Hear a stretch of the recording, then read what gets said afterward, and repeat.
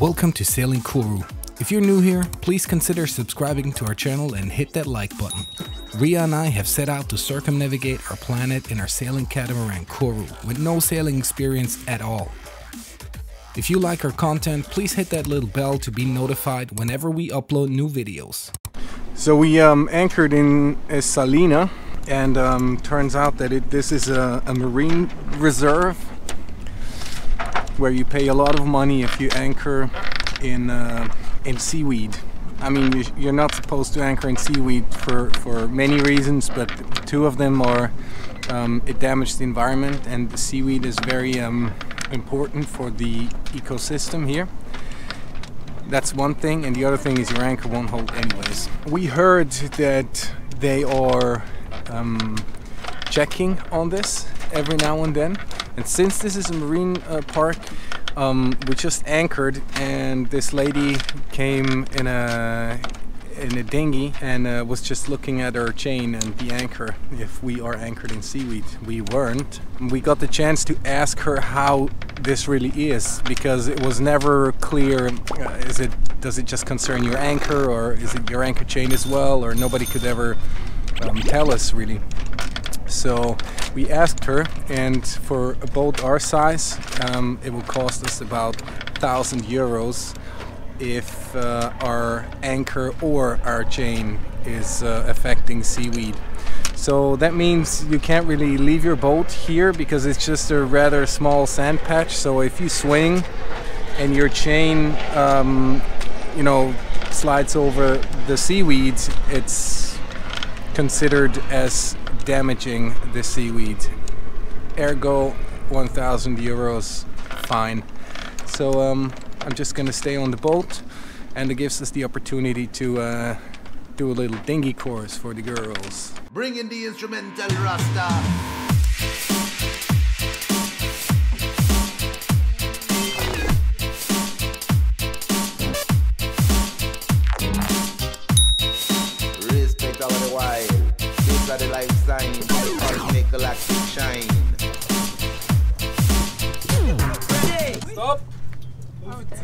Pull it up again.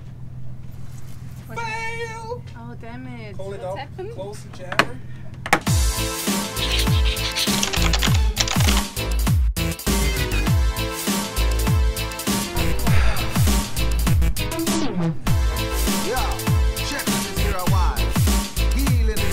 Christine wanted to get familiar with the tender bimfy.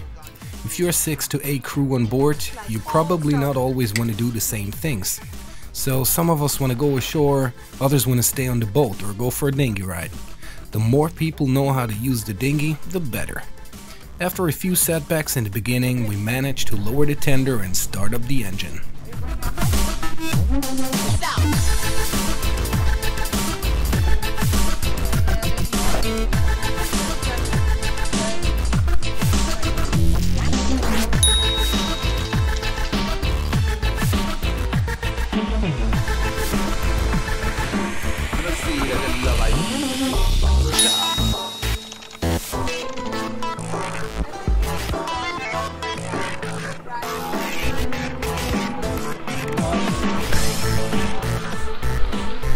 Okay, so what did we do?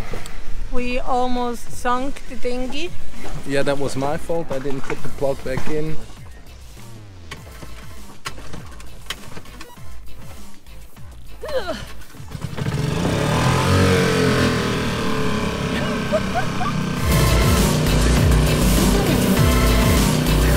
Let's go and check out the sailboat over there. It's a sad one. I'm not sure if it's on purpose. I don't think so. But it's lying on port side. So A boat laying on its side on a ground is never on purpose. Only if it's a pirate boat and they uh, careen it and clean the bottom. Yeah, well, it wasn't a pirate ship. Remember when I told you your anchor won't hold in seaweed? Well, I guess that's what happened to this poor guy. We hope the damage wasn't too severe and continued their tender course.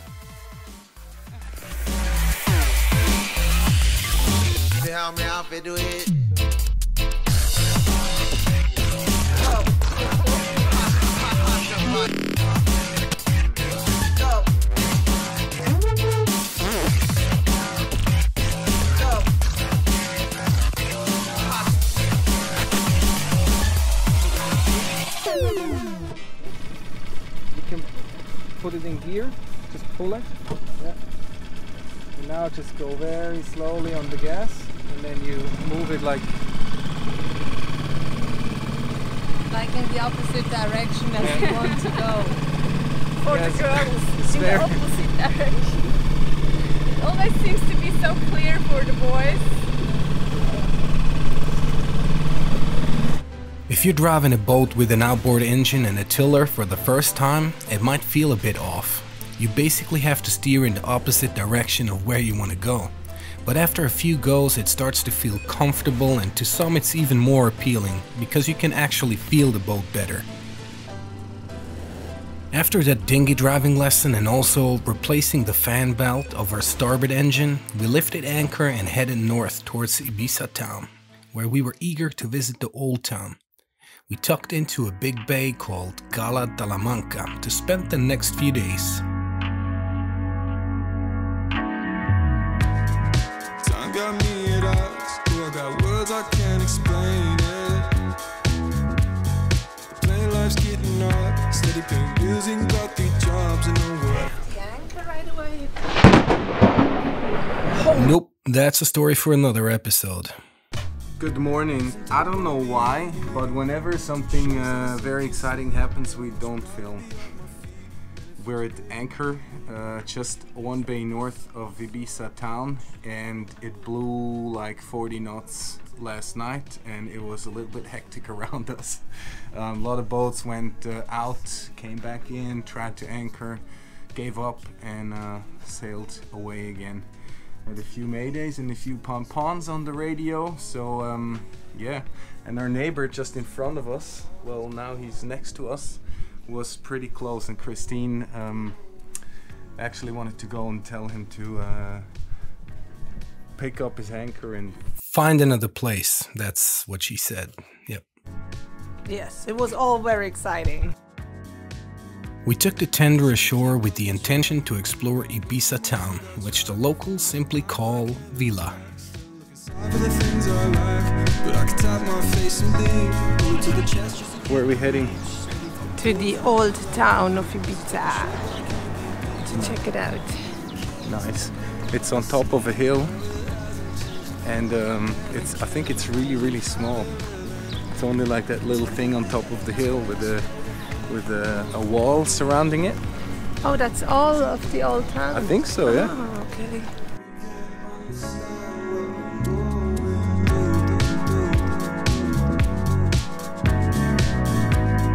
you can't understand what I'm going through. The Vila is a very cute little town in the southeast of the island, which since 1979 is actually and officially called Ibiza. The old town, or Dalt Vila, how it's called by the locals, sits on top of a 325 foot hill. It's a quite steep walk uphill to reach the fortified old town. So um, I guess we're walking up into the real old town now, with all the walls, the old walls. It looks beautiful though, very well preserved too.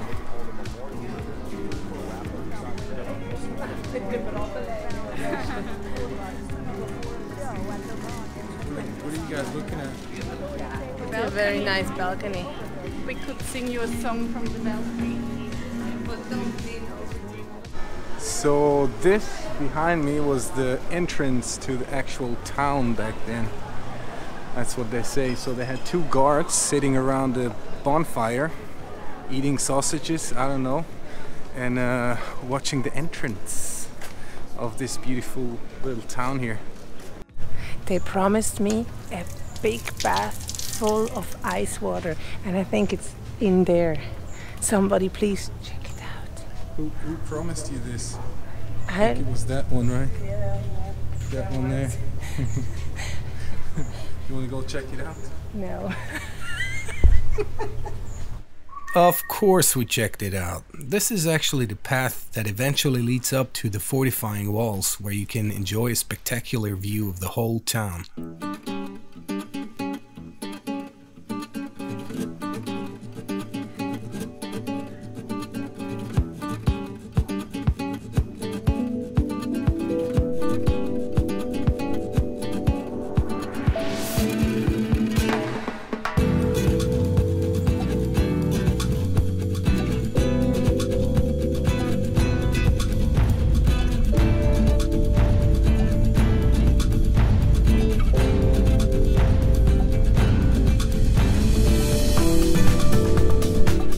Gonna go around the next corner.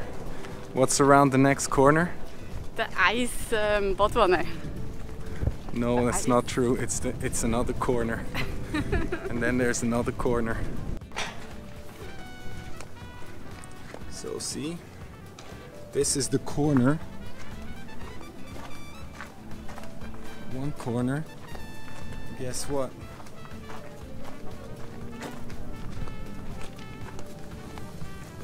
This is another corner, and there's another corner, and then there's another corner. Told you.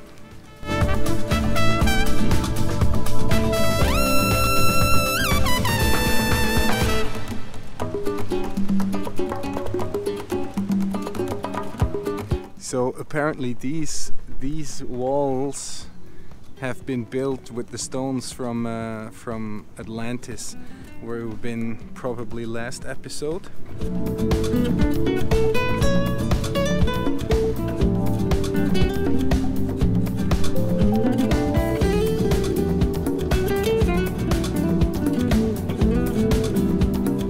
We made our descent down through narrow cobblestone streets into the heart of Dalt Vila, and by chance ran into these guys.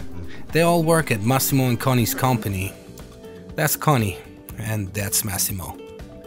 And we all went sailing together the next day and had a lot of fun. Well, most of us did.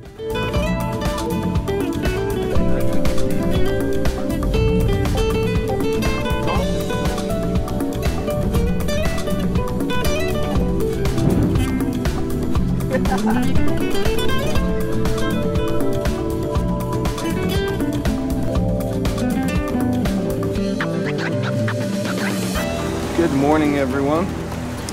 We are on our way to uh, Lilia or Lalia.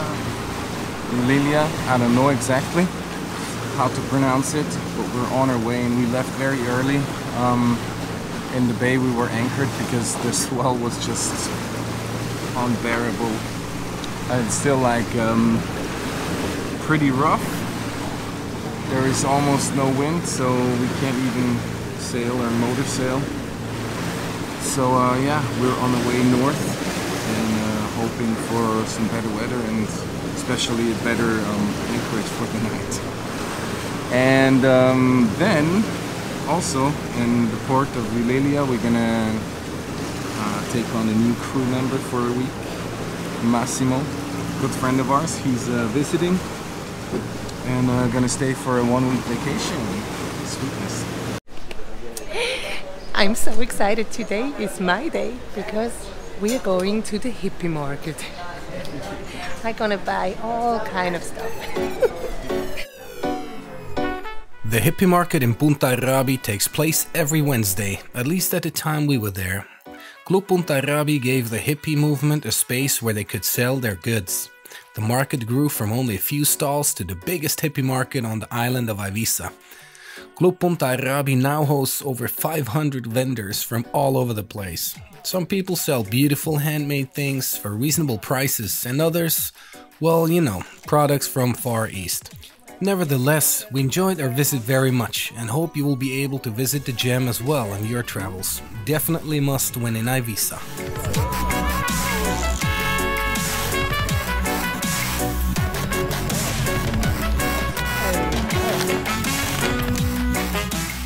Thanks for watching this episode. Please don't forget to like and subscribe to our little travel channel. It's easy as pie and helps us out a lot. Till next time and see you out there.